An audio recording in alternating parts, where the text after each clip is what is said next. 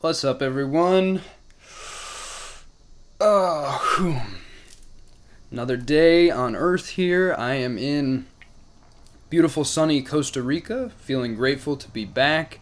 And I just felt like making a video to talk a bit about ayahuasca. Now, if you're unfamiliar, ayahuasca is a plant medicine a psychedelic plant medicine that originated in the Amazon basin. And we don't know the exact origins of ayahuasca. Um, it originated sometime at least a few hundred years ago, if not a few thousand. And according to indigenous mythology, it was actually the jungle spirits that informed the indigenous people of the recipe for ayahuasca, which uh, involves two particular plants from the the Amazon. I think it's the ch- chacruna plant and the I could not pronounce this the B capisterosis vine or something. I totally butchered that, I'm sure, but when you consider the remarkable complexity of the ayahuasca brewing process, which is quite an involved labor that happens over the course of um, many hours or even days, uh, it does actually seem quite.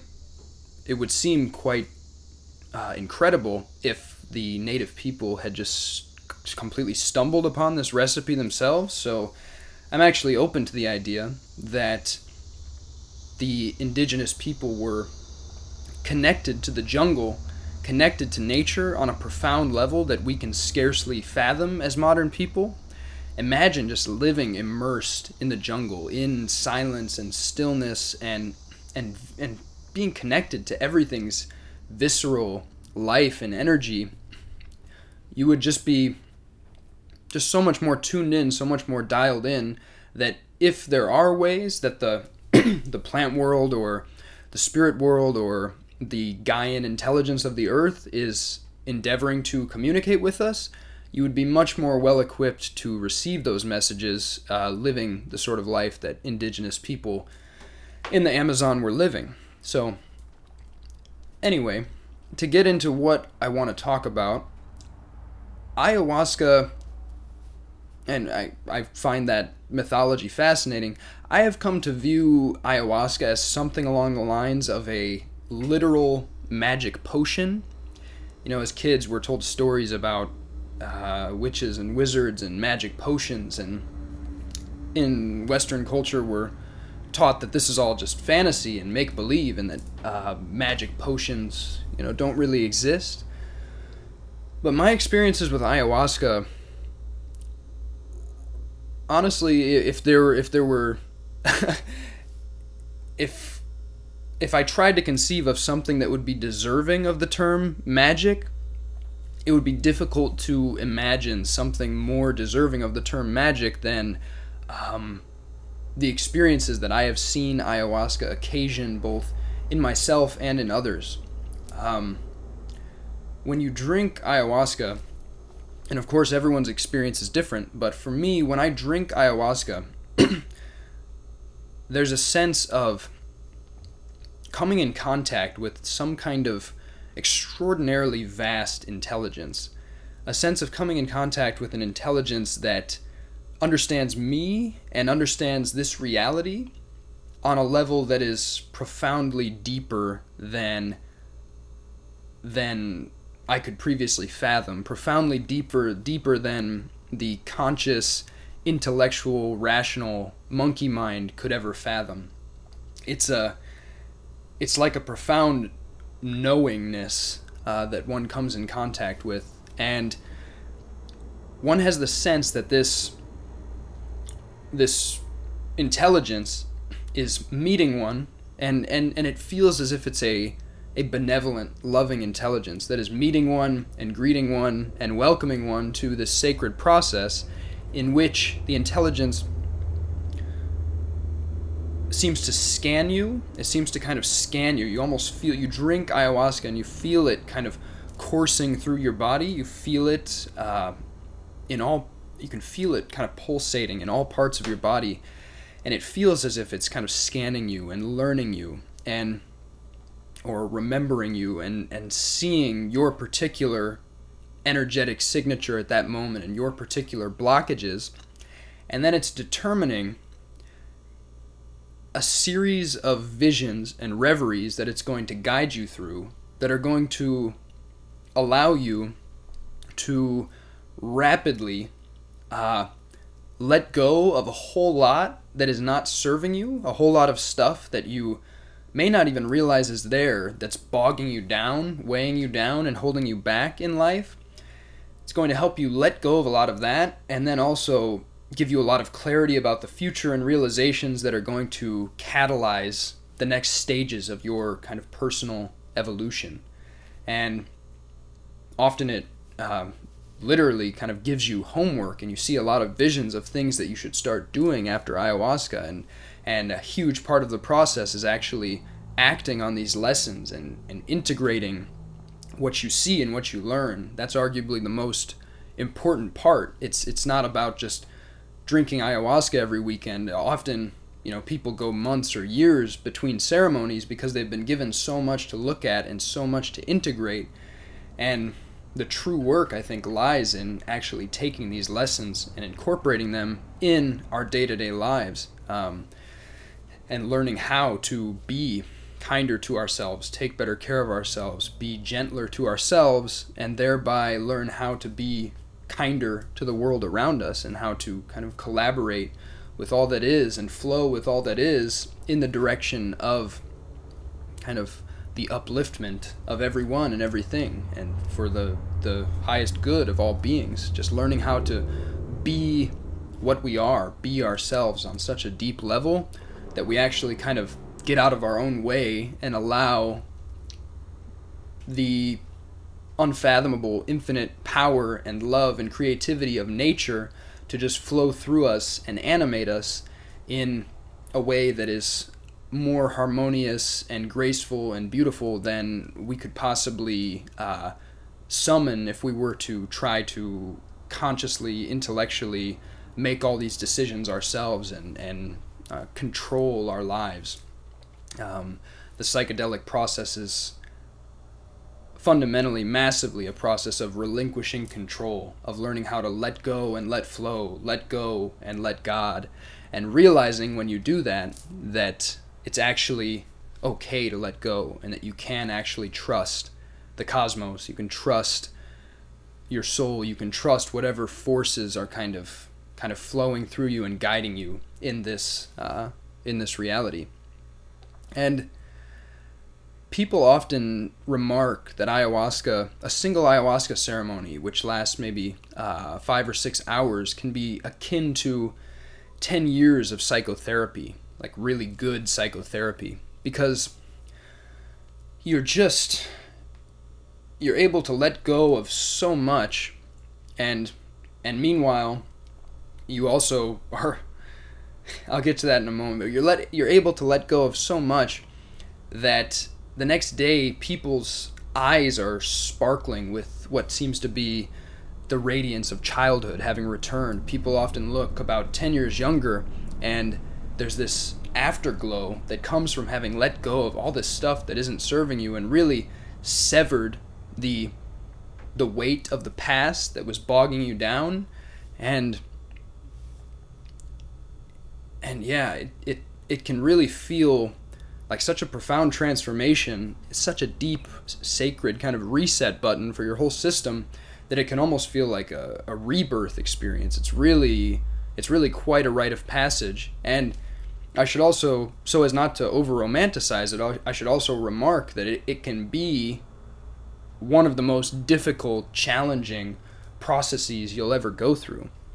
I, when I'm in ayahuasca ceremonies, I almost have a feeling like I'm in the presence of a whole bunch of people, like giving birth, like going into labor, because people are going into processes. You're hearing people sigh and uh, and moan and, and and sob or laugh and and and purge and and release and and belch and all this stuff and it's it's a very earthy very like primal down in the down in the the mud kind of human experience where you really see that damn we are really all human here. We've really all got our stuff to deal with and we're all here together to do this work to invest in ourselves to let go of what is not serving us. And that's ends up being a profoundly beautiful thing but it can be it it it can be an extraordinarily difficult and challenging experience. So I should be sure to state that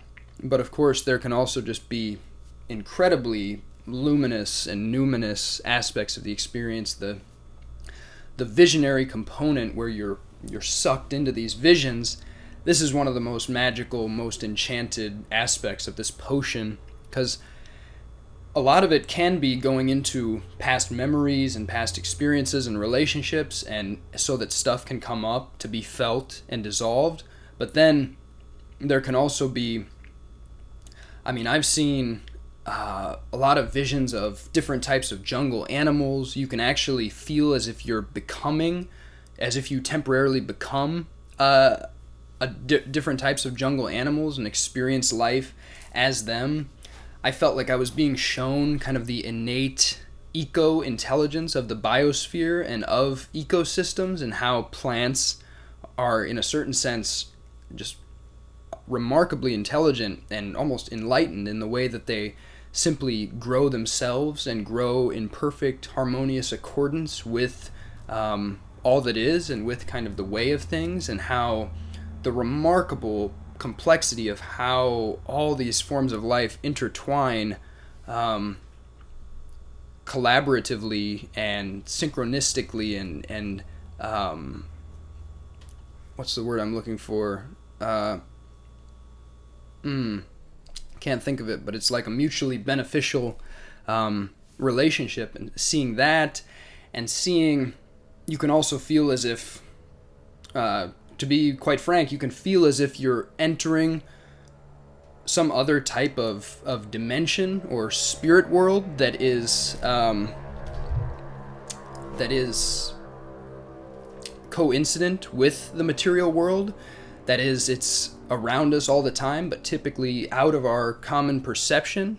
But uh, you're drawn so deep within yourself, it can it can feel a bit like a dream state, but you know it's it also has this character of being clearly distinct from a dream. It's more like a reverie, and you have a feeling, a deep sense of knowingness of that there's a certain definite reality to what you're seeing, and you can see yeah, various types of beings and entities and beings of light. Uh, you can be shown uh, celestial cities. Um, it can seem as if you're you've been brought to another planet or a, a glimmering city uh, in another dimension. And I think it's important for me with these experiences that I don't become dogmatic about them and, and say, this is the truth. I definitely know the truth of this cosmos, this stuff is real.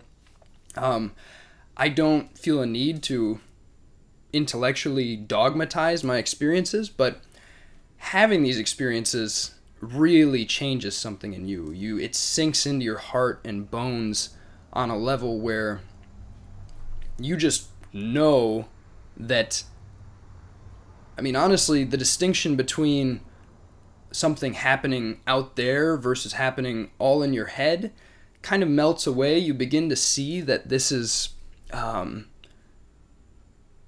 kind of kind of a strange, almost fallacious uh, dichotomy, like a potentially a philosophical fallacy, and you realize that all experience, both internal and external, is valid and is completely part of your experience of this reality. So you begin to see that dreams have their own reality and significance, and after having these experiences of seeing, you know, radiant, luminous uh, vistas and celestial cities and seeing uh, benevolent uh, plant spirits or beings of light visit you and uh, assist you in kind of transmuting and letting go of what is not serving you. I mean, that's an experience that simply uh, it changes you forever. It really does. It's uh, it's it's a remarkably luminous and, and beautiful kind of gift to receive uh, in my estimation. And having now personally witnessed about 125 people or so drink ayahuasca and have these experiences, and having not seen a single person um, have like a an experience they said they regretted or they just wish they hadn't they hadn't drank. And having seen so many people just have utterly transformational and healing and liberating experiences this has led me to uh, feel very deeply that ayahuasca is kind of a sacred gift from from the biosphere. It's it's it's a sacred healing gift on this earth, and in the present moment, in this time of enormous transition that we're in, with accelerating technological change and living in the strangely isolating modern world, there are so many people who have so much suppressed and stuck gunk and energy that ayahuasca could help them process. I really believe that ayahuasca is bringing a lot of the healing that is presently needed in um, the kind of uh, Western monoculture that's kind of swept the world. And, there, and that's why I think ayahuasca is spreading so virally underground and, and above ground. Increasingly, there are more and more places where ayahuasca can be can be drank legally in Peru and Brazil, and it's um, it's being drank legally in uh, religious contexts in the United States.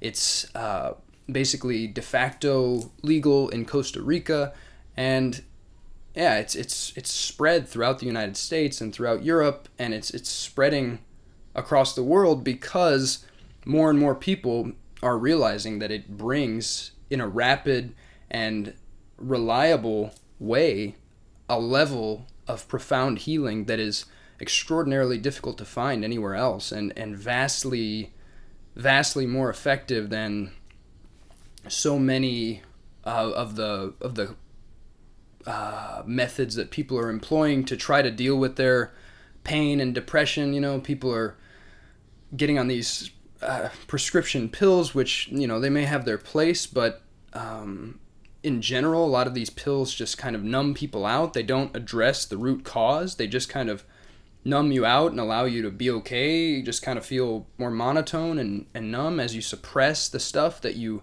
you never actually deal with and then you end up needing you you're dependent on this prescription for years or for the rest of your life. Um, ayahuasca presents a potentially extraordinarily promising alternative to that reality and thus more and more people are are coming to realize just how uh, powerful it is and how powerful it can be. So, yeah, I think I'll wrap up there. For those reasons, I really have come to see ayahuasca as a literal magic potion. I'm extraordinarily thankful for it. Thank you, ayahuasca. Thank you, Earth. Thank you to all that is for allowing all of this to occur. And uh, yeah, thank you for watching this video. Much love to you. Take it easy. Take care. Keep it moving. Much love, my friends.